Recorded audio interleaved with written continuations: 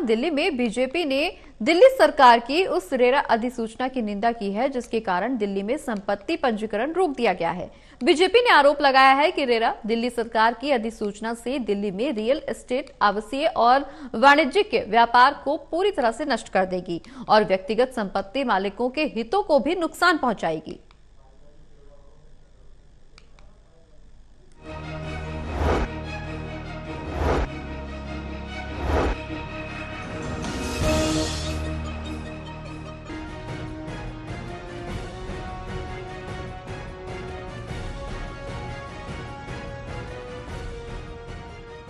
राजधानी दिल्ली में रेरा की तरफ़ से एक आदेश जारी किया गया है, जिसके तहत 50 वर्ग मीटर में बनने वाली इमारत का दायरा सीमित कर दिया गया, जिससे सैकड़ों कच्ची कॉलोनी पर असर पड़ा है।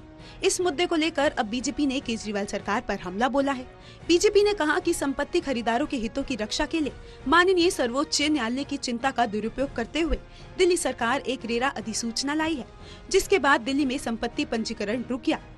बीजेपी प्रदेश उपाध्यक्ष दिनेश प्रताप सिंह ने आरोप लगाया कि केजरीवाल सरकार का रेरा नोटिफिकेशन कहता है 50 मीटर तक के प्लॉट पर केवल तीन आवासीय इकाइयों की अनुमति होगी, यानी 50 मीटर के प्लॉट पर केवल तीन मंजिल का निर्माण या बिक्री की जा सकती है, जबकि दिल्ली में 50 मीटर तक के छोटे प्लॉटों की भरमार है, जिनमें चार से पाँच आवास इकाइयाँ हैं।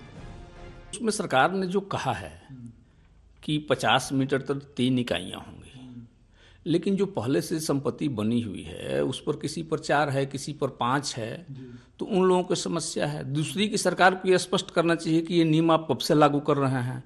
आप ये अधिसूचना जब से जारी किए हैं बीस से या उसके पहले से तो ये कुल मिला जुला करके दिल्ली और उन अनाधिकृत कॉलोनियों में जिसको चार इकाई का मकान बनाना होगा पाँच इकाई का मकान बनाना होगा तो उसके लिए बहुत बड़ी समस्या है और जो मालिक है वो पीड़ित होगा और कहीं ना कहीं सरकार जो है बिल्डरों के साथ मिल करके इसमें कुछ न कुछ कुछ न कुछ खेल करना चाहती है। इस तरीके से ये नियम को लाते हैं, जिस तरीके से शराब के घोटाला को लाए।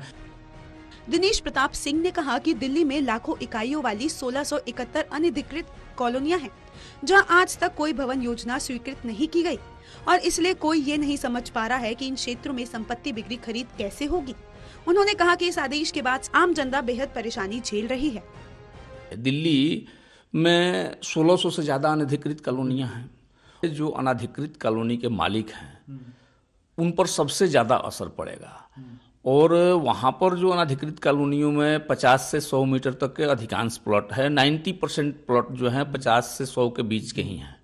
तो उन पर इस रेरा का बहुत ज़्यादा असर पड़ेगा, जो सरकार ने जो रजिस्ट्रेशन की बात की है। तो इसलिए सरकार को कोई भी निर्णय करना चाहिए तो सोच समझ करके फैसला लेना चाहिए। और फैसला नहीं लेने से अनधिकृत कॉलोनी के जो जिनके नाम पर प्लॉट है, जो मालिकाना हक है, वो प्रभावित होगा और वो समस्या में घिरेंगे। और दिल्ली अनधिकृत कॉलोनियों का बहुत बड़ा एक रोल है दिल्ली के विकास में भी, दिल्ली को चलाने में। अनधिकृत कॉलोनी का बहुत महत्वपूर्ण योगदान है।